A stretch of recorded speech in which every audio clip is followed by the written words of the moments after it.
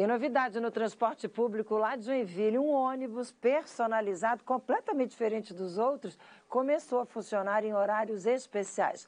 Sabrina Guiar está chegando ao vivo, direto lá de Joinville, e conta a novidade pra gente. Bom dia, Sabrina. Oi, Márcia, bom dia. Bom, durante esse recesso escolar e festival de dança, o turismo fica aflorado por aqui, né? Por exemplo, as pessoas vêm conhecer Rua das Palmeiras, onde eu estou, o Museu Nacional do Imigrante recém-reformado, viram pontos turísticos e entre eles o Mirante. Para chegar até lá, a pé é bem cansativo, vira até uma atividade física por aqui. Aí então surgiu esse ônibus.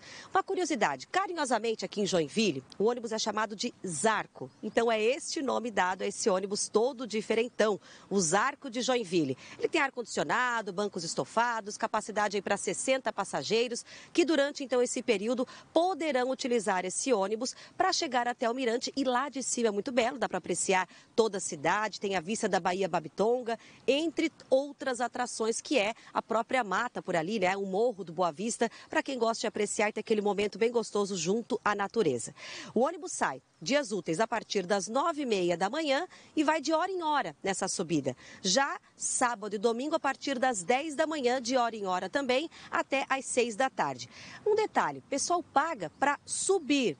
Dá R$ 4,75 antecipado e R$ 5,00 ali na hora para a subida do Mirante. Na hora de descer, não precisa pagar nada. Uma atração a mais, o ônibus ficou muito bonito, tem toda uma decoração, desenho, está escrito lá cidade de Joinville, também Zarco de Joinville, para chamar bem a atenção. E ele sai aqui do centro, do terminal central, nesses horários para chegar até lá. Márcia. Stay.